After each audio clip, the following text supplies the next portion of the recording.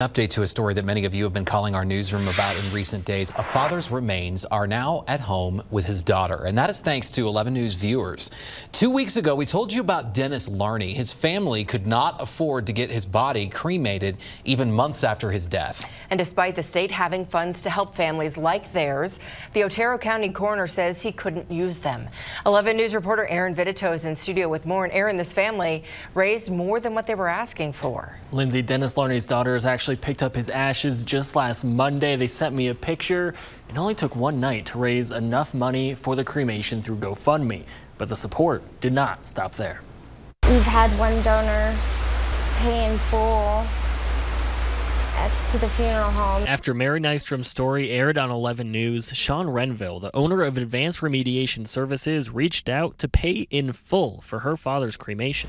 Taking care of that financial burden means more to me than words can express. This was after 11 News viewers already raised the money in one night. It was very surreal. I just couldn't believe it. And she tells me she plans to put the money to good use. We want to buy a bench for the outside of the manor he lived in and hopefully get it an engraved some way. Her father is finally home after months of waiting.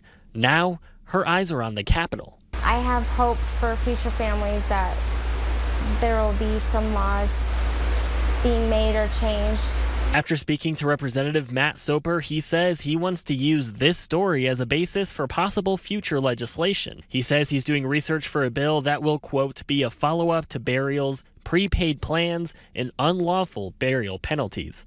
In the meantime, Nystrom says she's glad to share her father's story and happy he inspired change even after his death. It makes me proud to be his daughter.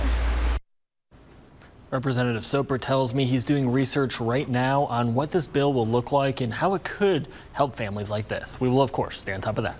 Guys, back to you. All right, Aaron, thanks for the update.